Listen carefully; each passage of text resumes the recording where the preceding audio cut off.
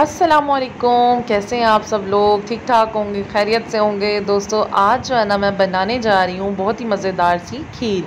तो चलने स्टार्ट करते हैं आपके साथ। आ जाइए।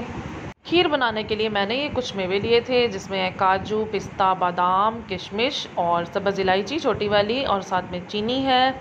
और इसके अलावा दोस्तों, चावल जो थे वो मैंने रात को भिगो के रख दिए थे, क्योंकि जितना टाइम हम इन्हें देंगे, उतने ही लजीज खीर बनेगी और उतनी ही जल्दी चावल पक जाता है। तो बाकी जो है ना आप सुबह में ये काम मैं स्टार्ट कर रही हूँ तो मैंने लिया है full fat milk fresh milk लिया और साथ में ये कुछ दूध के मैंने बॉक्स वगैरह लिए थे और ये अलग से मैंने देगची में भी दूध डाल लिया तो तकरीबन ये दूध मेरे पास था तकरीबन साढ़े छः किलो दूध था ये।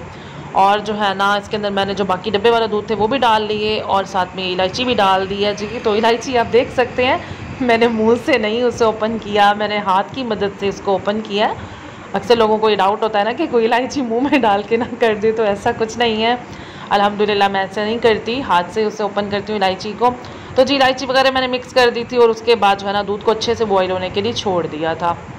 फिर जब दूध अच्छे से बॉयल हो गया था ना तो मैंने जो सारी रात चावल को भिगो के रखा था, उनको जो है ना, मैंने पानी जो रात वाला था वो गिरा दिया और फिर मैंने उसमें दोबारा से पानी डाला था। और वो पानी भर के जो मैंने डाला था ना, उसमें वो पानी समेत ही चावल मैंने दूध में शामिल कर दिए थे। और उसके बाद फिर हमने इसको अच्छे से मिक्स किया और धीमी आँच में से पकने के लिए छोड़ देंगे। अरे नहीं नहीं, परेशान नहीं होना आपने। मुझे पता है अब आप सोच रहे होंगे कि ये क्या किया इसने? इसने तो इतना सारा पानी डाल दिया, पानी में खीर बना रही है। ऐसा नहीं है दोस्तों। ये जो मैंने पानी इसमें डाला है इसलिए डाला क्योंकि आपने देखा, मैंने जिसमें चावल ऐड किए, उन्होंने मैंने बिल्कुल भी ग्रैंड नहीं किया। वो चावल समेत पानी के भी मैंने डाल दिया। और अब हम इसे ना धीमी आँच पे पका रहे हैं। तो जितनी देर ये पकती रहेगी पकती रहेगी, गाढ़ी हो जाएगी, इसका जो ये पानी सारा ऐड किया है, वो सारा इसका ड्राई हो जाएगा, बल्कि मिल्क भी ड्राई हो जाएगा। और उसके बाद दोस्तों, ये इतनी मज़े की खीर तैयार होगी ना, इसका कलर भी चेंज हो जाएगा। इस स्टेप पे ना दोस्तों, आपने वक्फे वक्फे से चम्मच चलाना है, क्योंकि चावल नीचे बैठने नहीं चाहिए। वो ये ना हो कि वो नीचे बैठ जाएँ और लग जाएँ, और अगर एक दफ़ा खीर लग जाए ना तो बहुत बुरी स्मेल आती है, जो कि जाना बहुत ही मुश्किल हो जाता है। मेरे लिहाज से तो तकरीबन नामुमकिन भी होता है, क्योंकि वो एक अलग सी महक आती रहती है। अब देखिए यहाँ पे मेरा जो चम्मच लाने का अंदाज़ है, वो कैसे है कि ऐसे आगे पीछे, उसके बाद फिर हम इसे राउंड राउंड ताकि ये नीचे भी नहीं लगे और साइडों से भी नहीं लगे। मैं इसमें शामिल करूँगी एक प्याली सूखा दूध, थोड़ा सा पानी और काजू पिस्ता को मैंने अच्छे से ग्राइंड करके पीस लिया था। अब मैं इसमें ये शामिल कर दूँगी।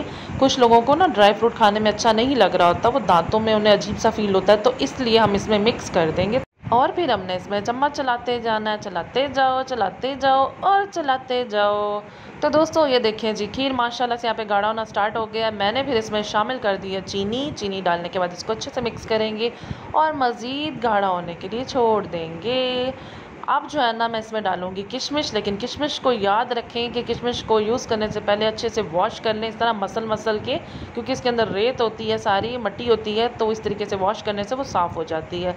तो जब खीर अच्छे से पककर गाढ़ा हो जाएगा ना तो आपने लास्ट में फिर उसके अंदर ये किशमिश शामिल कर देनी है। किशमिश शामिल करने के बाद पाँच मिनट पकाएँ और फ्लेम को ऑफ़ कर दें। तो हमारी मज़ेदार सी खीर यहाँ पे तैयार हो चुकी है। अब मैं इसके अंदर ड्राई फ्रूट डाल देती हूँ, बादाम, पिस्ता और साथ में डालेंगे काजू। तो पहले मैंने बादाम डाला, उसको मैंने अच्छे से मिक्स कर लिया।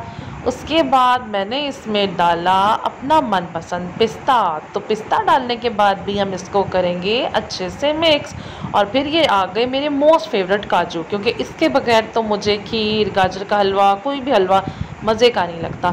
तो मैंने सारे मेवा जात इसमें शामिल करके अच्छे से मिक्स कर लिया। अच्छा आप सोच रहे होंगे मैंने गरी तो डाली नहीं। भाई, मुझे पसंद नहीं है सो मैं अवॉइड करती हूँ।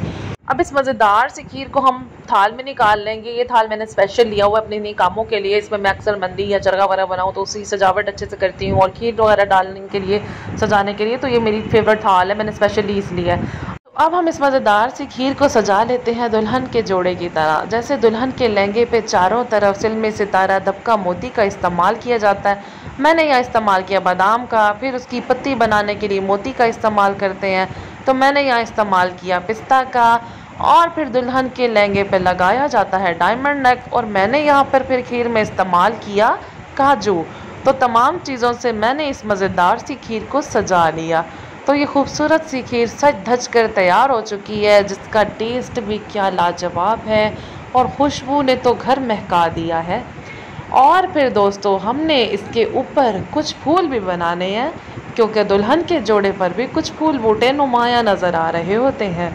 तो अब मैंने यहाँ पर काजू का फिर इस्तेमाल करना है और काजू का इस्तेमाल कर कर मैंने दरमियान में ये फूल बना लिया। तो मज़ेदार सी खीर पक कर सच धज कर तैयार हो चुकी है। दोस्तों, ये थी हमारी आज की रेसिपी आई होप आपको रेसिपी अच्छी लगी होगी। अच्छी लगी हो तो वीडियो को लाइक करें कमेंट्स करें शेयर करें।